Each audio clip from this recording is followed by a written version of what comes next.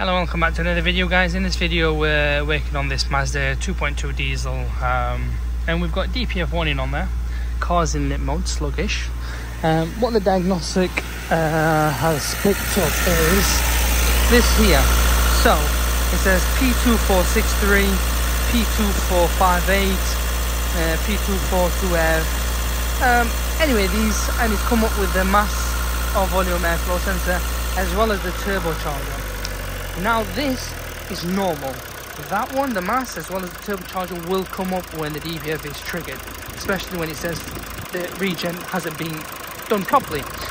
Reality is, I've got many videos on how you can clean the DPF. It is a bit of a ball ache on this Mazda 2.2 diesel. It's at the back of the engine. It's a 2015 model. Um, what I would recommend is using the diagnostic machine reset the soot and content uh, reset the soot sensors uh, and whatnot and then go for a thorough drive. Because right now you are locked in. Even if I do a full scan clear it's not going to do it.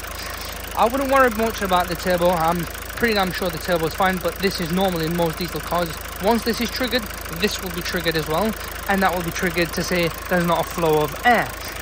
Reality is that P0101 is this one here.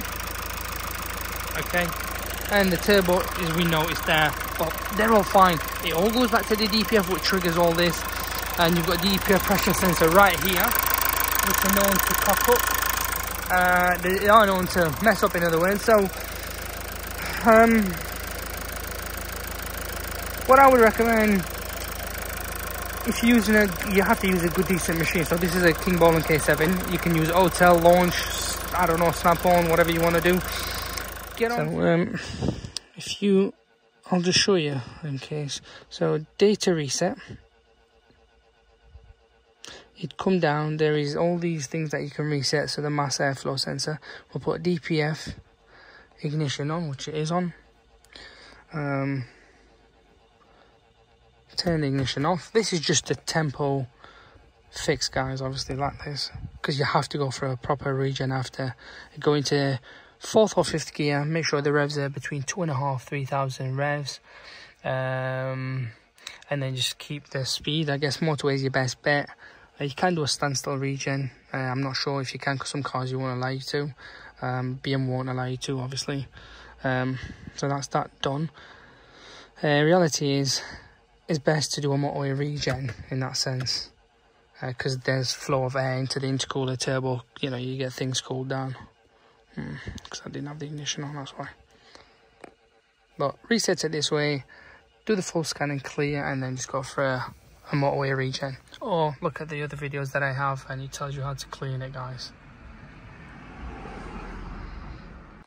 So now that they are reset, what we would do is come back out of this here, turn the ignition back on, um, and then do a clear DTC. And the warning has gone on there? Which is good but then again I wouldn't be full thinking yeah but it's all sorted. It won't be because reality is um, it will come back on it once the sensors on the DPF it has been triggered. So this is just a tempo fix for now but this is how you would do it guys. Um, there you are. I mean you'll get full power back.